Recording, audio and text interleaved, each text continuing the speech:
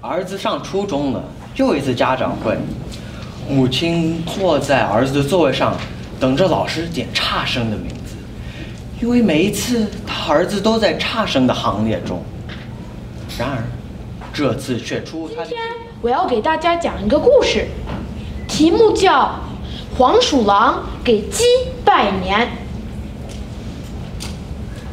过年了，鸡妈妈带着可爱的小鸡宝宝们，把家里打扫得干干净净。历时三个月的首届大华府中文故事大奖赛日前落下了帷幕。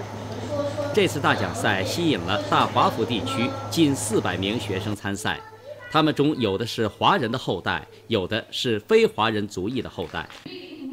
大赛的主办方哈维中文学校和博城中文学校。对大赛进行了周密的安排，在工作人员和大赛评委紧缺的情况下，仍然本着公平竞争、学习提高的原则，让每一个参赛的选手有着充分的机会施展才华。本站将从近日起在故事大赛栏目里陆续播出大赛录像，欢迎收看。